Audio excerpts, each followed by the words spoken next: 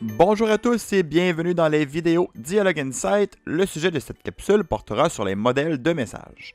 Donc, lorsque vous créez un nouveau message, évidemment, vous avez les modèles Dialogue Insight, mais vous pourriez aussi créer vos propres modèles selon le visuel qui vous convient.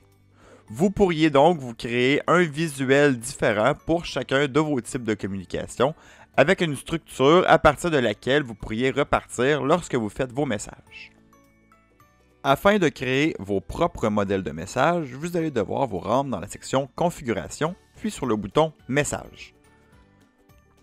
Dans cette section, vous avez un bouton qui se nomme Modèle, à l'intérieur duquel vous allez trouver les modèles déjà existants, en plus d'un bouton Créer un modèle. Lorsque vous cliquez sur ce bouton, vous pouvez créer un modèle à partir des modèles qui sont déjà existants. Vous pourriez créer un modèle à partir des messages Dialog Insight. Vous pourriez faire aussi un modèle vierge à partir d'une édition HTML ou vous pourriez partir d'un message qui est déjà existant. Une fois que votre choix est fait, vous avez simplement à faire Choisir.